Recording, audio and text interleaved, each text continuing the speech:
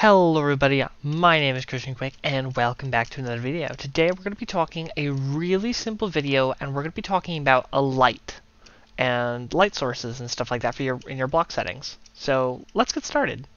Alright, well if you've made it this far then you should know that uh, if we take like our animated block for example and I uh, control C, control V and then we're just going to call this one uh, light and then we're just going to call this one light.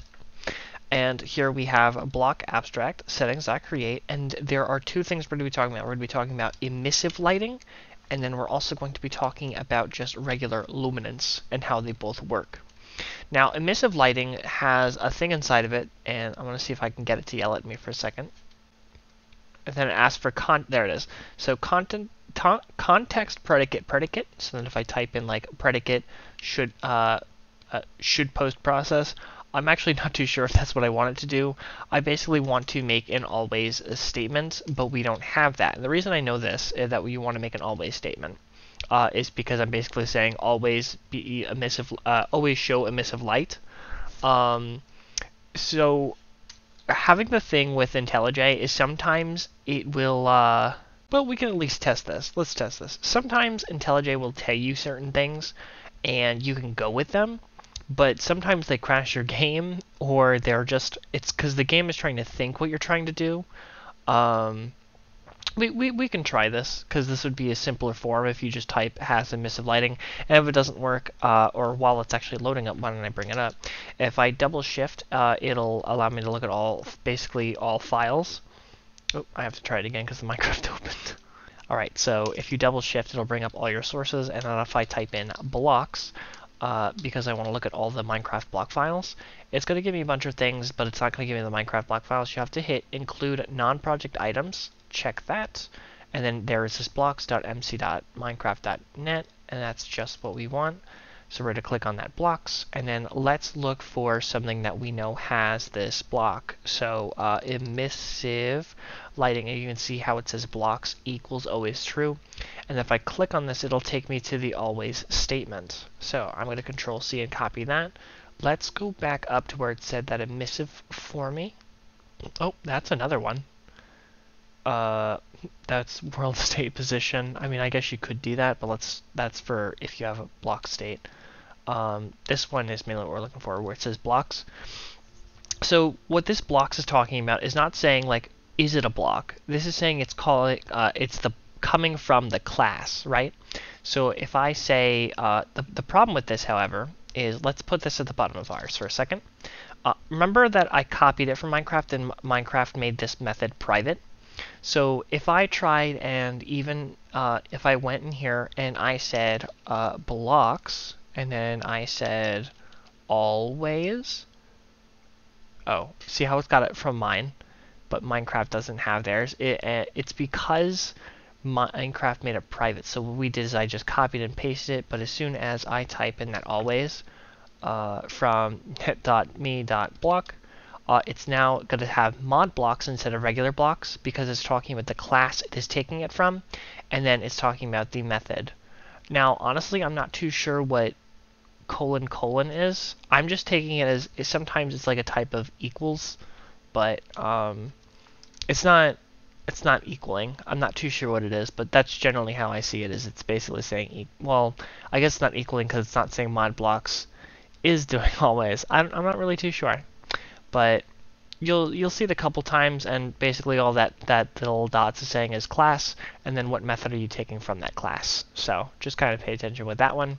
Uh, and then let's see if our emissive lighting, the way we had it before, is working. Uh, if it is, that's great, but I'm still going to change it again with the other one. Loading terrain. Oh, yep, see, no, it crashed. So uh, don't uh, don't do the other one. So let's uh, load it again, because now we've loaded it correctly with the emissive lighting, mod blocks always, and then we have the always simply just meaning true. just set it to true and it's fine. So we're going to load it again. Alright, welcome back to our little, uh, I'm not too sure if this is an island or something, I just got water on two sides, so it could be an island, could be a continent, I, I, I couldn't tell you.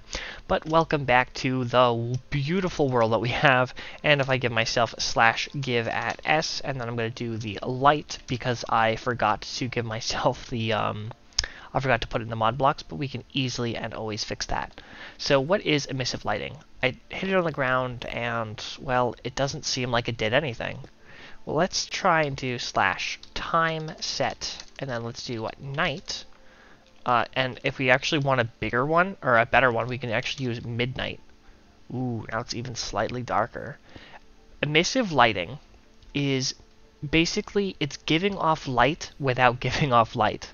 So look very closely at the block here. Think of it as if it's like, it's giving light level 1 it's it's emissive where it's it's it's giving it off. It's resonating. It's radiating. That's technically like another word for emissive is that it's radiating it. But it's not really it's supposed to give it like a nice little glow. But um and like we said in the magma cube the magma cube actually has this uh, emissive lighting where we put on the ground and you can see how it has that same where it's glowing but you can see how, on the outside at least, how it has that emissiveness. I do know that if you do give it a light level, I think it actually starts to glow like this, so maybe that's what it is, as well as the light level. So, but that's that's what emissive does. So let's give it a light level, that way this thing can be nice and bright and shiny, like our little magma cube. Welcome back to the code. The first thing we're going to do is we're going to go into our mod item group, and I'm just going to do this. I'm to control D. Uh, we should also put in our soap here from the last video, control D, and then we're also going to put in uh, light. So now our light block will be able to be accessed in creative inventory. All right. So moving on with our emissive lighting, and now that it's working, we're going to work on the, the other one. Now this one looks a little bit more complex, but it's not. So we're going to do dot uh, luminance, and then it's going to say, hey, you have to put a toInt function for the block state and then illuminance. But literally just type in letter V and this thing called value is going to come up. Hit your tab and if it doesn't come up you can actually type in the V-A-L-U-E space and then just do a little dash and then the forwarding bracket. Um, what is that? Less than? Greater than. I think it's greater than symbol. But then you just have to type in a number. number.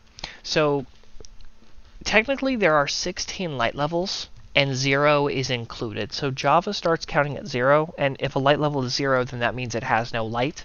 That's why it goes up to 15 and not 16, because you'll notice that it's a pixel game. A lot of things are done from, you know, 16 to 4, 8, 16, just how Minecraft works, 32, 64. You'll see it all over the place. So sometimes people will be like, why is it 15? Like, why is it the maximum? Why isn't it 16? It's because we're in Java, and technically it starts at 0, and 0 is absolutely no light level. It's light level 0. So that's why 15 is the maximum.